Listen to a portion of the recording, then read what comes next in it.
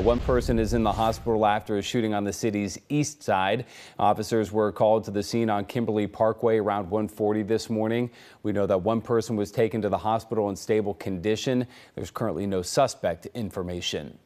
Less than an hour after, two people were injured in a shooting near I-71. Officers were called to East 11th Avenue at 71 around 220. Dispatchers tell NBC4 two people were taken to the hospital but could not give us their conditions.